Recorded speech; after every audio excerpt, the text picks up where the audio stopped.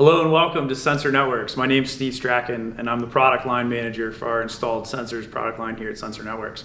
Welcome to our headquarters in State College, Pennsylvania. For those of you that don't know Sensor Networks, uh, we are a manufacturing company for NDT products. We make ultrasonic transducers, we make remote visual cameras and retrieval tools, and we also make installed sensors for wireless ultrasonic corrosion monitoring for all the different applications from oil and gas to power gen, looking for uh, corrosion, wall loss, and being able to predict um, failures before they happen that actually is why we're here today. We have a very exciting product launch for our installed sensors product line. Um, so if you join me, we'll go inside. We'll tell you a little bit more about the product. And now we're inside here. I want to give you a sneak peek at our new product, which is called MicroPIMS Intrinsically Safe. Uh, these MicroPIMS are fully wireless 900 megahertz ultrasonic corrosion monitoring sensors. They are rated for ULCSA Class 1 Div 1 or ATEX or IECEX Zone 0. Each of these sensors can be installed permanently or temporarily. This is our high temperature sensor. This can sit on pipe temperatures as low as 40 degrees F or C all the way up to 500 C or 932 F. Its brother, the uh, dual element micropim, magnetic bases for vessels or tanks, permanently or temporarily attached, um, up to 150 degrees C, 300 F, and each of these sensors operates off of two commercially available batteries. Uh, on one reading per day, these batteries will get you over 15 years of life on either of the sensors.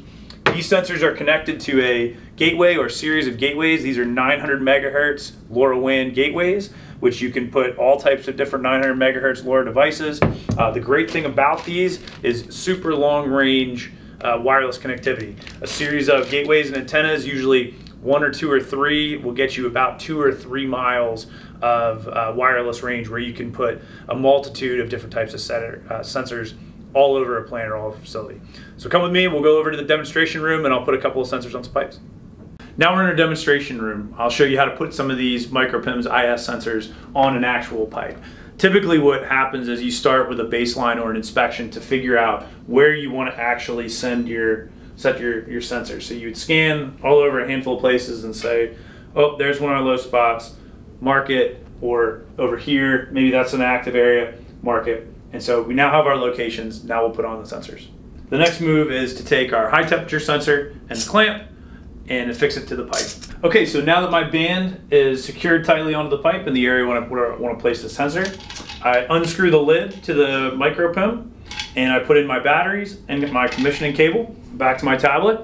And then from here, what I'm gonna do is I'm gonna start inserting the sensor into the port and I'll start tightening these bolts until I have an A-scan on my tablet. I will then finish commissioning the sensor, make sure it has a good ultrasonic A-scan, and I'll make the last changes to the sensor, how often it wants to take a reading, and make sure everything looks good, it's properly named. And from there, we'll put the cap back on, and it'll be all done.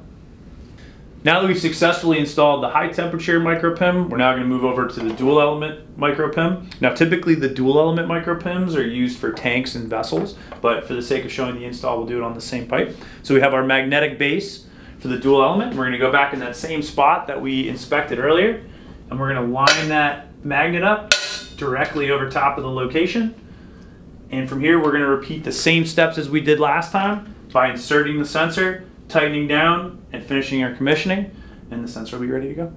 And now we're going to move over to the software and show you what some of the data looks like once these sensors start taking their readings.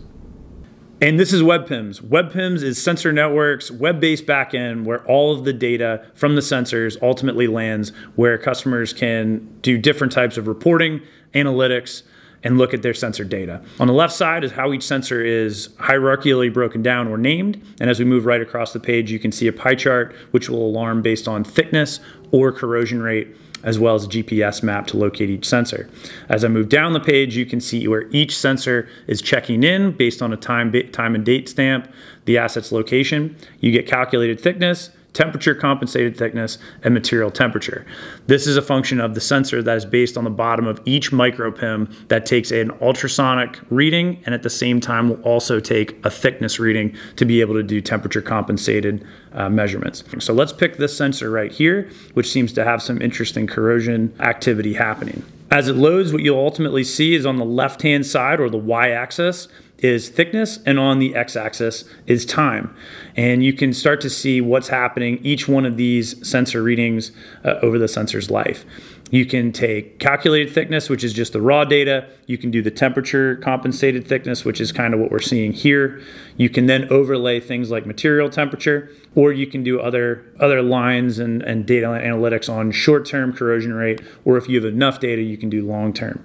One other tool that a lot of folks use is our operating interval corrosion rate click and drag tool, where you can see that there's not a lot of corrosion or some corrosion over a certain amount of times versus other times when there might be a lot more corrosion. In this case, this sensor is seeing quite a bit of activity over the course of the last month, month and a half.